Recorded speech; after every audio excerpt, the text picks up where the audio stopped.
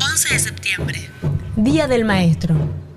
En memoria del paso a la inmortalidad del docente, periodista y ex gobernador y presidente Domingo Faustino Sarmiento. En 1943, la Conferencia Interamericana de Educación estableció que el 11 de septiembre es el Día del Maestro fecha celebrada en la Argentina y en muchos más países del continente. Recordamos a todos nuestros docentes por su entrega, dedicación y sobre todo su eterna paciencia.